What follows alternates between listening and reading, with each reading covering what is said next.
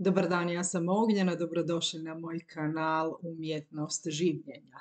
E, danas ćemo malo razgovarati o ljubavi prema sebi, odnosno e, kako ta ljubav prema sebi zapravo figurira ako smo odrasli u e, toksičnoj obitelji ili ako smo u toksičnim vezama i slično. Znači, na koji način mi dolazimo do te ljubavi prema sebi i koja su možda znanja koja koja nas nikad nisu naučili oni koji su nas trebali naučiti. Jel?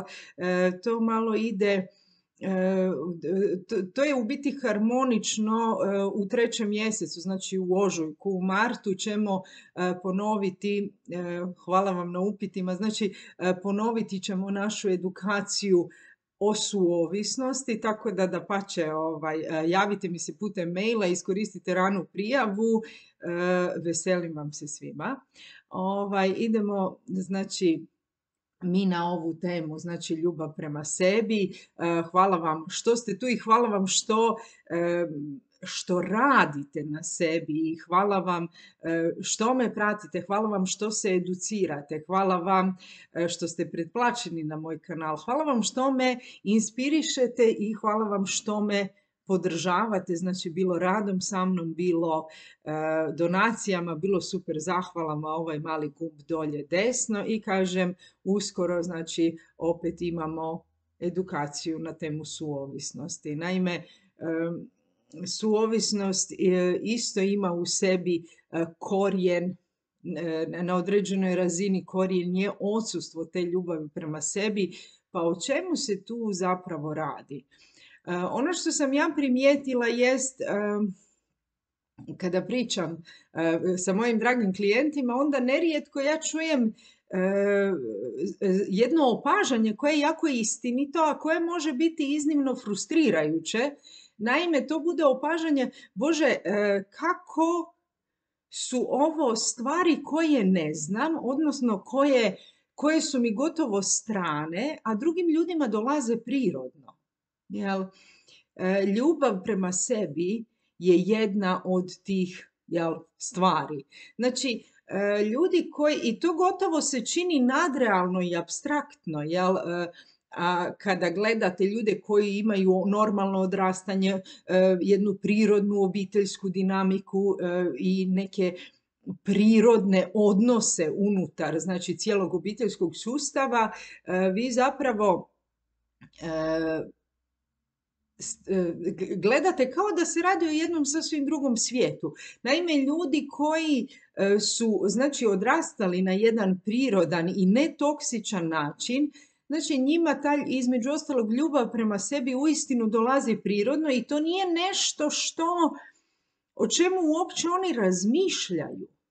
Dok jel mi razbijamo glavu šta i kako i stalno smo puni tih nekih sumnji. Jel, je li to to i je li sam u pravu, je li u redu recimo zauzimati se za sebe, je li u redu postaviti svoja pravila, je li u redu e, odbiti nešto.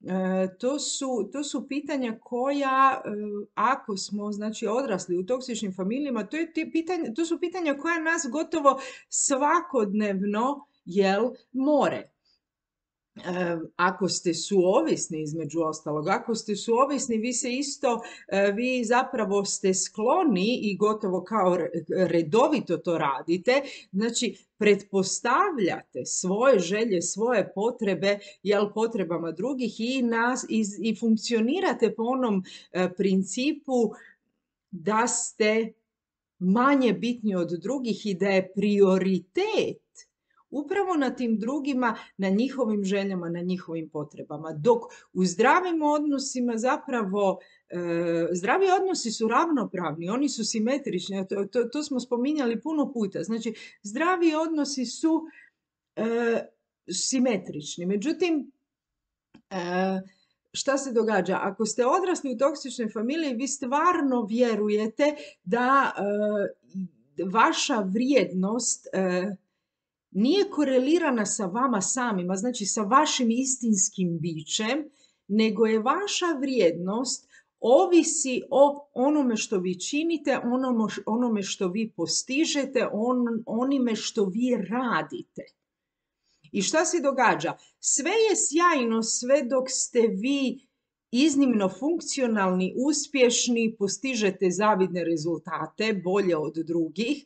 Međutim, šta se događa ako u tome iz nekog razloga ne uspijete? Jeste li manje vrijedni zbog toga? Znači, ljudi koji odrastu e, na jedan prirodan, zdrav način, njima se nikad ne javi to pitanje. Oni jednostavno su naučili i znaju bez ikakve sumnje da oni vrijede upravo takvi kakvi jesu. Znači, pazite, samo, e, sama terminologija govori sve. Mi smo ljudska bića. Znači, mi jesmo. Ono što nas determinira je da jednostavno jesmo. Razumijete? Tako da, premda ono što mi radimo, ono što mi postignemo, oblikuje nas. Međutim, ono što mi jesmo je naša suština i ne ovisi o tome što radimo, što postižemo, o našem materijalnom bogatstvu, o našem, ne znam, e, poslovnom uspjehu, o našim e, partnerskim uspjesima, o našem uspješnom braku i ostalom. Znači, mi smo ljudska bića. Međutim, problem toksične obitelji je upravo o tome što e, osoba u toksičnoj obitelji odrasta nikad ne osjetivši kako to je da vas neko voli zato što jednostavno ste to što jeste. Ma kakve bili. U toksičnoj obitelji ljubav je uvijek kondicionirana i tu se e, i tu se u biti javi upravo ta neka borba za dobiti ljubav. Dok ljubav jednostavno nama treba doći prirodno.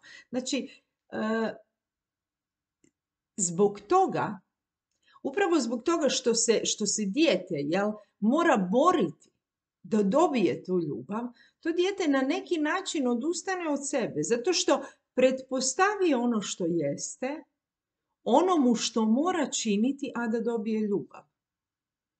I možda se to u ovom trenutku iz ove perspektive odrasle osobe čini nelogičnim, međutim, probajte razmišljati znači iz rakursa djeteta. Dijete neće preživjeti bez ljubavi i dijete će sve pretpostaviti samo tome da dobije ljubav. I ako se ovaj model ponaša, nije čudno da osoba jednostavno ne zavoli sebe. Jer na višoj razini zapravo osoba uopće nije upoznala sebe. Jer nije si dopustila da se izrazi. Zato što to nije bio prioritet.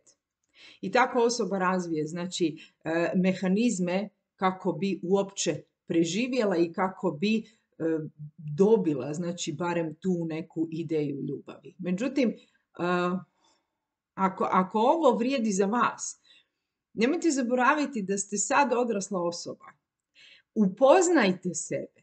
Znači, vidite što volite, što vas veseli, e, što vam, što vam čini zadovoljstvo, koje aktivnosti su vam ugodne. Testirajte, isprobavajte, upoznajte sebe. E, ono što i mislite da jeste, testirajte i to. Znači, ne znam, ako mislite da e, uistinu volite recimo horor filmove, Provjerite to, pogledajte zadnji neki najnoviji horor. Vidite sviđa li vam se u istinu ili je to samo mehanizam koji ste razvili ili je to znači samo neka persona koju ste vi razvili, a da bi vas se prihvatilo. Testirajte. Mi se i mijenjamo kroz život. Vi niste ona osoba koja ste bili u prošlosti. A ti mehanizmi koji su vam nekad pomagali, Otpustite ih. Više vam nisu potrebni i to je predivno. Sada volite sebe, a vjerujte mi, kada upoznate sebe, e, nema alternative. Jednostavno ćete voljeti sebe. Jer puno je u vama zavoljeti. Tako da upoznajte sebe i volite sebe. Ako, ako, ako vas muče, znači možda pitanje suovisnosti, ako, ako imate znači problema u odnosima, znači suovisnost se uvijek e, biva najočitija baš u pitanjima odnosa i veza. Ako, ako su to neka pitanja koja vas muče, ako je to neka e, vaša crta koju ne uspijevate nadvladati da pače. Javite mi se putem maila, uskoro počinje jel, edukacija na temu suovisnosti. E, e, svi detalji su u opisu ovog videa, da pače e, pročitajte suovisnosti putovanje od 21 dana, znači edukacija traje 21 dan, imamo 21 jedinicu, 21 ekskluzivni video, 4 online susreta, radnu bilježnicu, tako da to je jedno ovako učinkovito putovanje za izaći iz suovisnosti. Tako da da pače javite mi se putem maila. Hvala vam na vremenu, hvala vam svima na ovom razgovoru, hvala vam što me pratite, hvala vam što slušate reklame do kraja, hvala vam što me pratite na Patreon platformi, znači na Patreon platformi imate brojne benefite, ovisno o razini članstva, vrijedi pogledati. E, također vam hvala što radite sa mnom, bilo individualno, bilo, e, putem, bilo kroz naše edukacije, pripremam i neke nove formate uskoro, tako da stay tuned. Hvala vam na svim komentarima, hvala vam na super zahvalama, idemo na kafe. Ovaj, I hvala vam svima što ste upravo takvi kakvi jeste. Jer takvi kakvi jeste ste savršeni. Do sljedećeg razgovora budite mi zdravo, dobro i veselo. Ćao!